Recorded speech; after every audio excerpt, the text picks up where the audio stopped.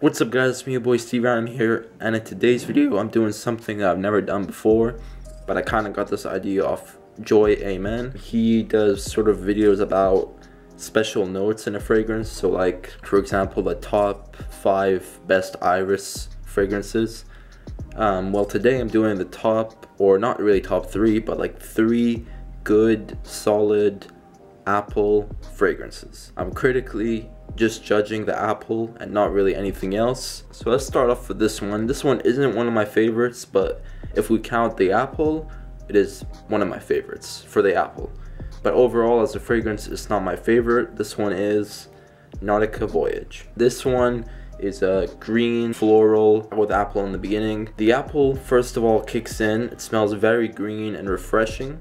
Um, so let me just spray it just to get a refresher. Yeah, so straight off the bat, I get a nice like cucumberish apple kind of vibe. You can very, very much smell the apple, which I like. And this is the point of this video is three solid apple fragrances. So if you're looking for a fragrance that has apple in it, these are solid ones. So starting with Nautica Voyage, the apple is very nice in the beginning, but then it goes into a more of a, a sort of flowery kind of floral, you know, doesn't, the apple doesn't stay for long. That's the only problem with this one.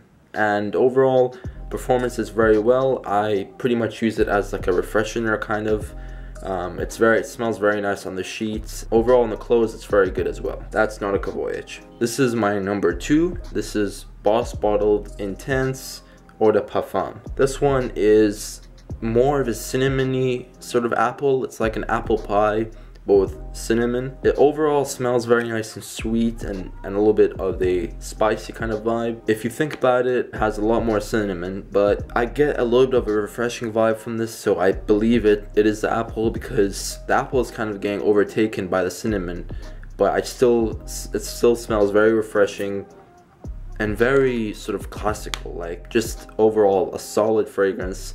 If I had to use the word solid, it's this fragrance right here. Just overall very compact. The apple's nice. The uh, cinnamon's sort of not over the top. It's nice and smooth.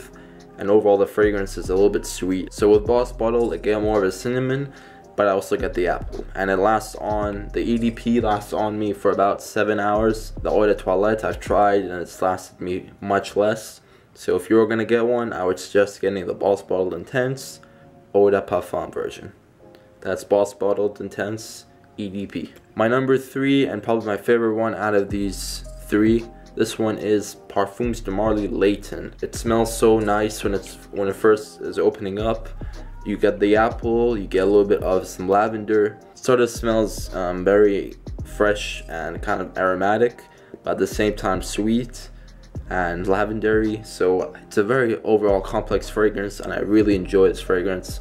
It is one of my favorite niches so far that I own. Parfums de Layton, you can definitely tell the apple in the beginning and it's a nice sweet apple and it probably is my favorite note or sort of my favorite opening as a niche fragrance. Parfums de Layton is a gorgeous fragrance and I highly recommend it. If you haven't tried it out, try it, give it, give it a try first.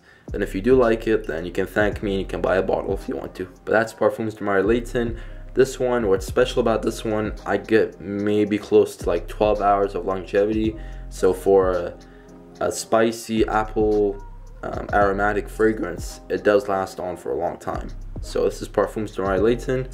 Hope you guys enjoyed this video and peace.